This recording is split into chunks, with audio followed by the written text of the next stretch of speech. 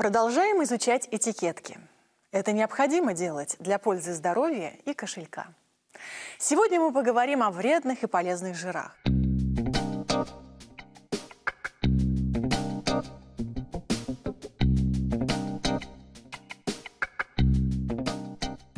Не так давно, всего лишь в середине прошлого века, был изобретен метод гидрогенизации жиров, превращение их из жидких в твердые, так называемые трансжиры.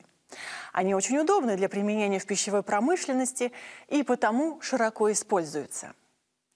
В последнее время к трансжирам проявляется повышенное внимание – так как из ряда последних авторитетных научных исследований стало известно об их крайне негативном влиянии на человеческий организм.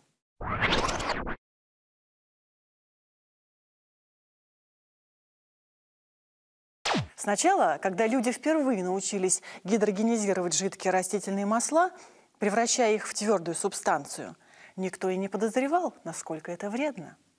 Ведь вначале никто не задумался и не придал значения тому факту, что при гидрогенизации, когда через масло, нагретое до 198 градусов, пропускается водород, изменяется сама структура молекул масла. И они меняют форму, превращаясь в так называемый трансжир. Теперь ученые смогли точно установить, что трансжиры катастрофически нарушают работу всей сердечно-сосудистой системы человека на клеточном уровне. И их по праву можно назвать жирами-убийцами.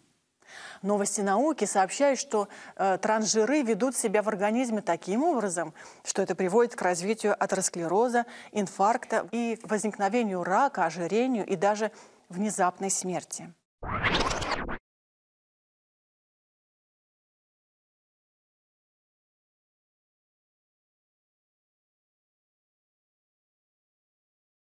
В Америке, где вся индустрия фастфуда встроилась на употребление большого количества маргаринов, уже давно началась эпидемия ожирения и множество внезапных смертей от инфарктов и инсультов. Поскольку трансжиров в природе не существует, вашему организму приходится тратить уйму времени на их переработку. И все же трансжиры продолжают добавлять в поразительное число пищевых продуктов. Они появляются на этикетках под видом э, частично гидрогенизированного масла, обычно растительного или пальмового.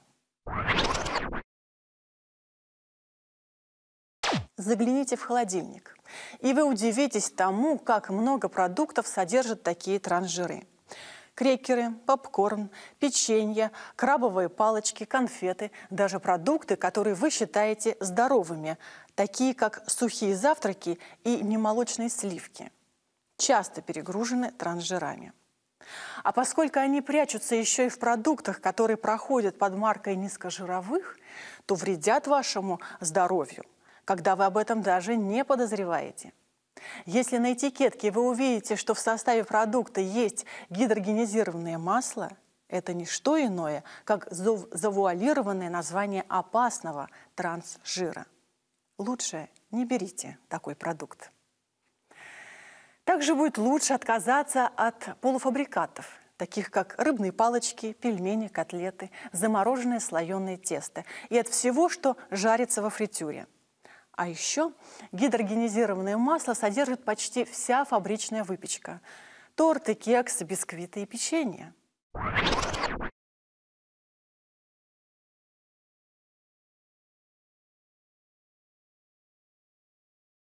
Особенно много трансжиров в чипсах и различных майонезах. Все эти вредные продукты вызывают нездоровье, и от них лучше отказаться. Однако нужно помнить, что существуют разные жиры. Некоторые полезны и даже необходимы для здорового рациона и хорошего самочувствия. Проще говоря, наш организм нуждается в жирах, и при их недостатке возникают проблемы со здоровьем. Жиры являются не э, только энергетическим ресурсом, они отвечают за строение каждой клетки нашего тела и важны для всех процессов, протекающих в организме. Ненасыщенные жирные кислоты вычищают из организма всякие ненужные и опасные вещества и тем самым способствуют сохранению здоровья и долголетию. Что же можно есть?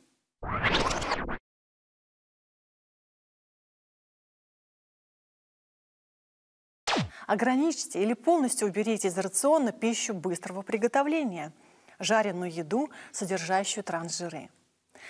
По возможности питайтесь натуральной пищей, негидрированными маслами. Например, употребляйте оливковое масло. Будьте внимательны и здоровы!